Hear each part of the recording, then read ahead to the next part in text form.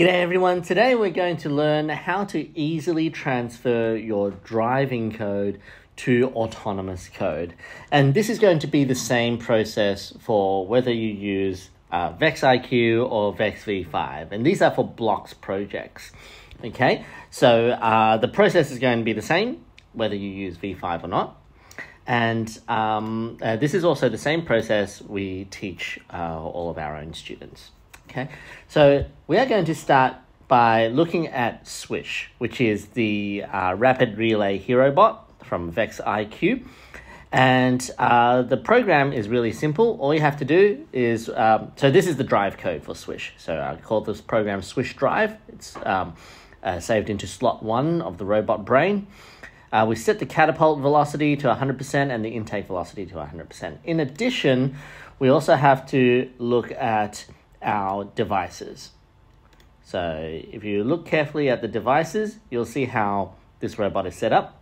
IQ Brain is second generation. Our intake is at port 8.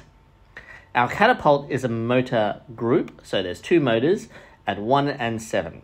Now, when you are setting up a motor group for this catapult, to make sure that one of the motors are reversed. That way, uh, it is all actually spinning the same direction. The drivetrain is at left motor 6, right motor 12, and it's using the brain inertial um, uh, gyro sensor. And then finally, we have a controller. So this controller uh, has a standard two-stick arcade. So the left stick is controlling the forward and backwards movement of the robot. The right stick controls the left and right turning of the robot. And then we have the intakes, uh, which is controlled by the left uh, shoulder buttons, and then the catapult is controlled by the right shoulder buttons. Very straightforward. And this code will make it so that your catapult runs uh, very well. Your Swish robot will run really, really well in driving mode. Okay, so this is a drive drive code. But what about if we want to switch this into a um, autonomous um, driving skills code? Well, first thing we have to do is we need to save out this project with a different file name. Make sure that it's saving into a second slot so it's not overriding the first slot. And then we are going to um, replace all of our controller inputs with broadcasting events and listeners. After that, we're going to delete our controller. And then we're going to be able to, uh, with all that set up, create a autonomous routine. All right, so those are the steps, and we will get started by saving our code. All right, so here we go, File. I'm to save this project as instead of Swish Drive, I'm going to call it Swish Auto. And then I'm going to change the slot from 1 to 2 so that it doesn't override my old code. Now let's have a look at our controller. Now I want to firstly replace um, the intake, uh, the intake code. Hold on for a second. Here we go. Got to replace the intake code. So when we press L, L down, we reverse the intake. Okay, L down reverses the intake. So I go and create an event. When I receive message one, I change message one to a new message called L down press. L down press. And after you create a new message, it doesn't automatically change the message that's inside the drop menu. You have to still click on it on the drop menu. And then what are we doing? We are spinning the intake in reverse. And we remember this, spinning the intake in reverse. We remember this because when we looked at the controller, when I press L down, it spins the intake in reverse. See? And then I need to create the same thing for when I let go of the L down button. So here, I create a new message, L down, release. And then what are we doing when we release the L down button? We stop the intake. And then we have to do the same thing for L up. So duplicate that. Instead of L down press, oh, hold on, you see this? I created L down release, but because I didn't press on it in the drop down menu, I almost forgot. So I have to press L down release.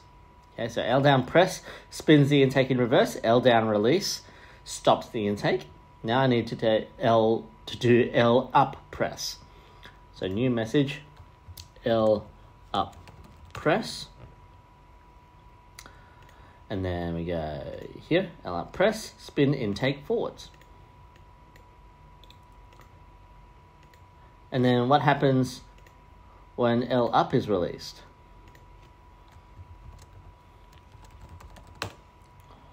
L up release, L up release, all set, we stop the intake. Okay.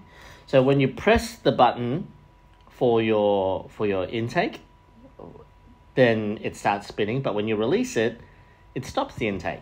Now this is just emulating our actual button uh, events on our controller. And we do the same thing for our catapult. So here, when I receive message, R down this time. R down press. Make sure that we select it. Mm, where to get R down press. We spin the catapult in reverse. And then another new message R up press. Spins the catapult in forwards. And then when we release either one, uh, down release. Uh, down release, we stop the catapult. And then we do the same thing for R up release. So that was R down release. New message for R up release. Oops, not our press, our release. Stop the catapult. Okay, so that is all the code that we need to emulate any of the uh, potential button inputs for when we are um, spinning the intake or the catapult. And then how do we um, uh, string this into our Auton code? So when the program starts, we set the catapult and intake velocity to 100%. Uh, and we've also uh, replaced all of our button presses with um, uh, broadcasting events and listeners. And then we don't even have to replace the code for our um, uh, our movement, our drivetrain movement, because all you have to do for drivetrain movement is to say use these ones, drive forward and backwards and turn left and right blocks. So now that all that is done, you can go into your devices and then you can remove your controller.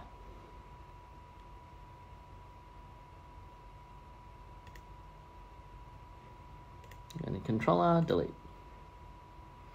Okay.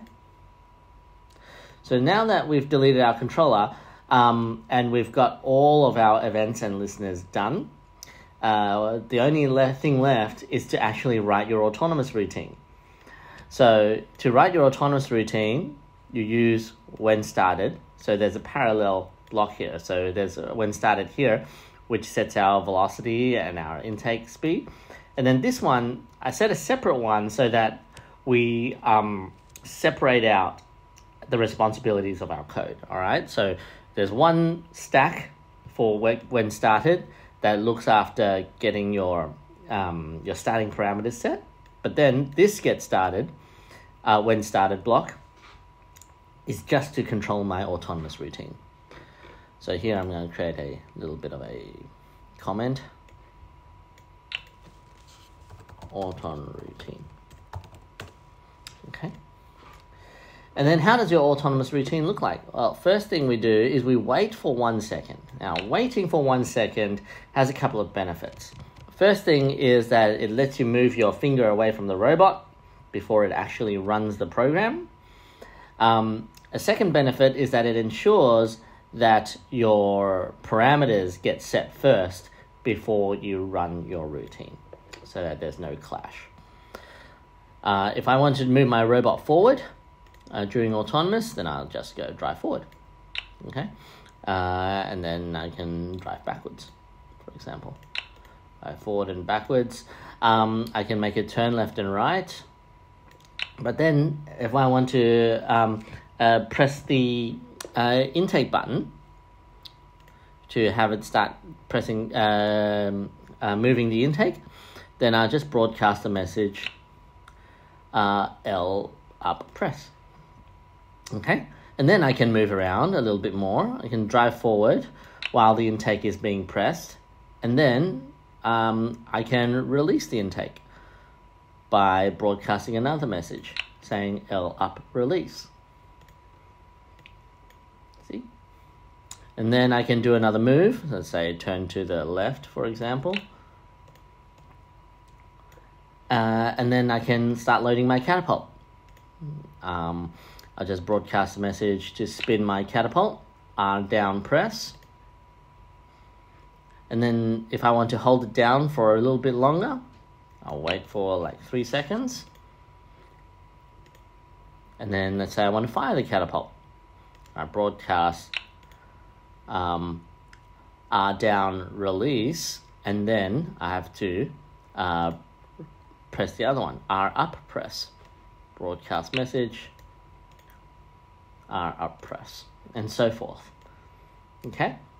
So this is what your autonomous routine will look like. It'll be a bunch of moves and also a bunch of broadcasts to emulate the different button presses that you would normally have um, in your controller code. Okay, so there are more advanced methods that uh, I want to talk to you about, but I'm going to make it uh, uh, in a separate video for my members only. So if you want to uh, learn how to move forward and backwards uh, based on seconds instead of distance, for example, uh, and if you want to be able to um, uh, control your um, uh, joysticks as well, if you're using holonomic drive or if you're using X drive, or, or if you're controlling your catapults using your uh, left and right sticks, then I'll go through that in the advanced video for members. Uh, and also, I will post the code uh, for today's project onto my GitHub, and the link will be in the description. Hope you enjoyed the lesson today. I will see you all again next time. Bye bye.